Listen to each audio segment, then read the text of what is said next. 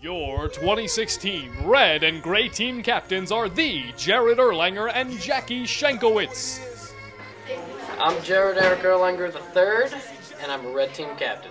My name is Jackie Schenkewitz, and I'm a gray team captain. Let's rage. I knew you were, you were gonna come to me. And here you are, but you better choose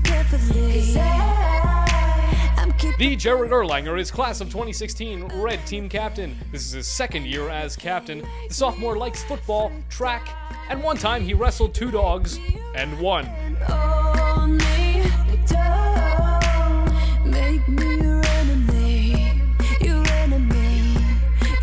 Jackie Schenkewitz, the Gray team captain, is in her second year as being captain. She plays soccer and is the vice president of the class of 2016. A fun fact about Jackie is that she used to be a Cambodian princess. Be sure to catch Jackie as well as Jared in this year's Red and Gray Night coming March 20th.